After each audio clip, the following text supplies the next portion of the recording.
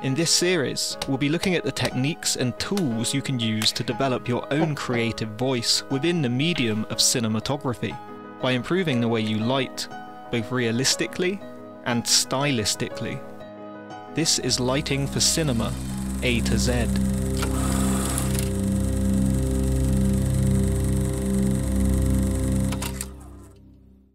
What's the difference between these two images?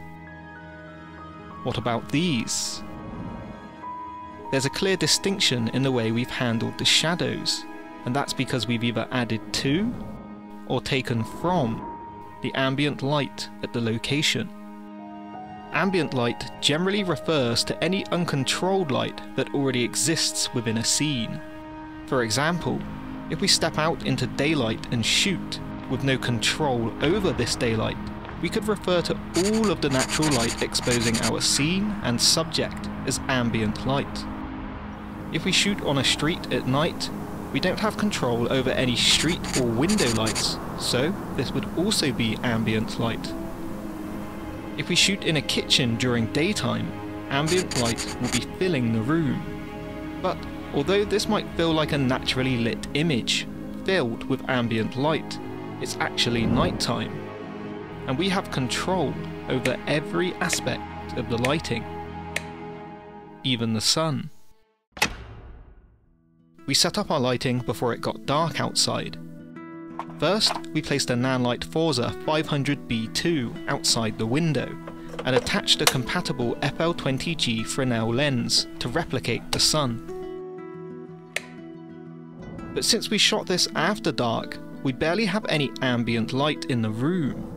There's no skylight coming through the windows in our location, so there's not much light in our shadows. We do have some bounce from the walls produced by our artificial sunlight, but we want it to feel like a relatively bright daytime shot, and this feels a bit unrealistic. We need to raise the ambient, but if ambient light is uncontrollable light, how do we do this?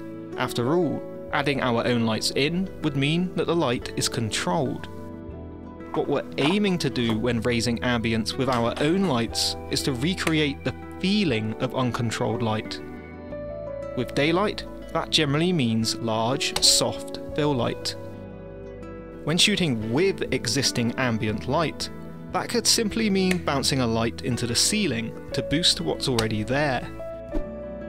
But if we're lighting from scratch, we need to build that light up for it to be realistic. So a good place to start here is the sky. We put together a 4x4 frame, clamped it to two stands, and raised it above the window. Below this, we placed a Forza 720B, attached its 55 degree reflector dish, and fired it up into the white side of our frame. This recreates sky from directly above the window, bringing some soft light down into the kitchen but also filling in some of our shadows. In reality, during the day, we don't just have the sky above the window, it extends a bit further opposite, and most other objects outside also reflect light back into the house. To cover this, we set up a bigger 6x6 frame of bleached muslin material opposite the window, and fired a Nanlux 1200B 60 degree reflector dish attached into the bounce.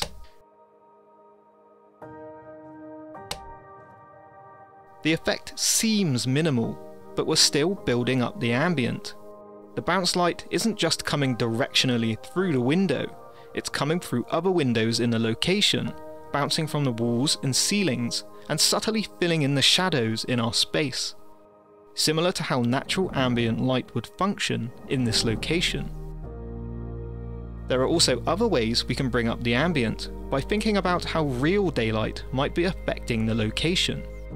A small Forza 60C 45 degree reflector attached and bounced from the ceiling could represent another aspect of the sunlight. After all, real sunlight can bounce from windows, cars, or even reflective items around the house, so raising the ambient with a little bounce on the ceiling is a viable representation of this daytime scenario. Our image is really starting to come together.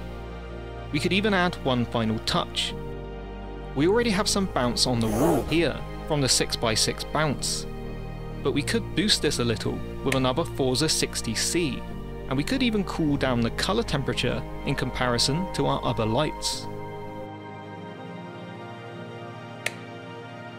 The very subtle cooler lift in the shadows creates some more realism to our ambient, as in reality we may have some more influence from the cooler sky entering the room from another window. To top it off, we composited in a section of window from a setup we shot earlier on, when we still had daytime sky outside. You can see how building up the light around the scene in a realistic way allows us to create the feeling of uncontrolled ambient light.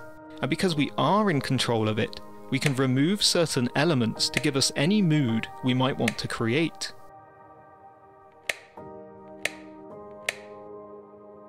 And to really understand the importance of this ambient, we'll turn off just our sunlight.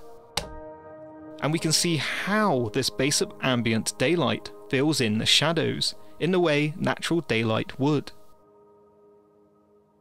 If you'd like to learn more about recreating daylight, check out my course over on shopmoment.com, which teaches you about the way daylight works naturally in terms of both quality and colour demonstrating how simply having the knowledge of these qualities will allow you to translate them into an image lit with intention. In part 2, we'll be looking at how to control and reduce ambient light to both shape the image and create mood in your scene.